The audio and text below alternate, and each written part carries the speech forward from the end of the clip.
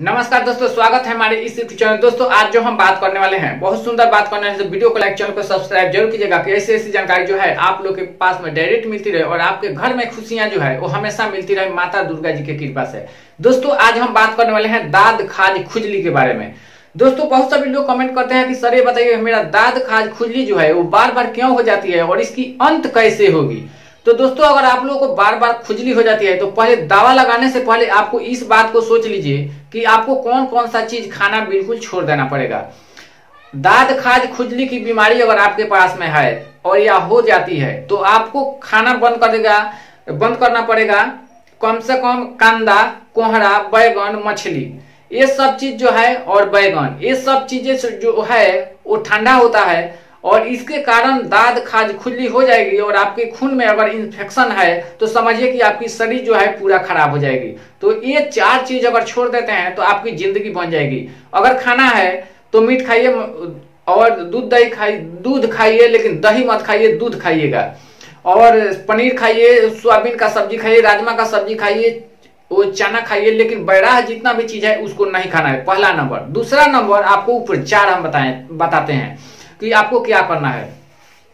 आपको अगर दाद खाद खुजली हो गई है तो आपको क्या करना है कि एक केजी पपीता खरीद करके लाइएगा और उसको ऐसे बारीक बारीक कट के उसको छिलका नहीं उतारना है। बारीक बारीक करके उसको धीमी आँच पे आधा घंटा थोड़ा सा पका लीजिएगा। उसमें का अर्क जो है वो निकल जाएगा। तो वो पानी जो है, पपीता आप खाइएगा या फेंक दीजिएगा, लेकिन उस पानी को एक शीशी में भर करके रख दीजिएगा और उस पानी को आपको जहाँ जहाँ दाद खाद खुजली हुई है खुजली तो, तो थोड़ा कम मिटती है खुजली के लिए दूसरा दवा है और दाद के लिए वो बहुत ही गुणकारी है। और आपको क्या करना है उसी पानी को जहाँ जहाँ हुआ है ऐसे लगाना है। अगर दो चार दस दिन मानी इतना यानी कि इक्कीस दिन इसका डोज है लेकिन इक्कीस दिन के अंदर में ये छूट जाएगा आपको। पहला नंबर तो उस दवा जो है पानी वाला सुबह लगाना है। और एक दवा है कि आपको लेना है सौ ग्राम नारियल का तेल दस बीस पचास रुपये में मिल जाएगा या तीस रुपये में सौ ग्राम। और उसमें दस गोली कपूर ले आना है। ढेला कपूर जो पूजा पाठ में लगता है। और उसको क्या करना है कि बारीक कूट देना है और कूटने के बाद में उसमें मिक्स कर देना है तेल में और दो घंटा धूप में रख देना है। और रखने के बाद में आपको क्या करना है कि पूरा हिला देना है सीसी को और हिलाने के बाद में एक जगह कहीं रख देना है। अलमारी में रख दीजिए या किसी अस्थिर जगह की बच्चे न छुए। उसके बाद में सुबह के समय में पपीता वाला लगाइएगा, पानी वाला। और शाम के समय में सोने से दो तीन घंटा पहले आपको क्या करना है कि अगर सुबह में पपीता का लगाते हैं तो 12 बजे स्नान ध्यान कर लीजिएगा। और ये दवाई कभी भी लगाइएगा तो स्नान करके ही लगाइएगा। या वैसे भी लगा सकते हैं, लेकिन स्नान पपीता का लगा लीजिएगा, उसके बाद में चार घंटे के बाद स्नान कर लीजिएगा। और स्नान करने के बाद में आप क्या कीजिएगा, ये नारियल वाला तेल जो है, इसको लगाइएगा। रात के समय में। ये दो टाइम दोनों दवाई लगाएँगे लगाएँगे अगर आपको, आप लगाएँगे तो दाद, खाज, खुजली, एक जीमा तुरंत आपको शरीर से इक्कीस दिन के अंदर मिट जाएगा।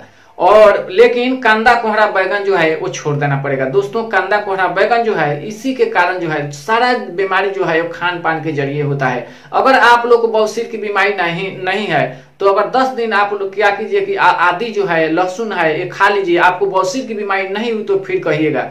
जैसे कीजिए चिवड़ा है, चिवड़ा को क्या कीजिएगा कि बेगर चीनी का थोड़ा सा खा लीजिएगा, आपको पेट जो है वो बिल्कुल खराब हो जाएगा।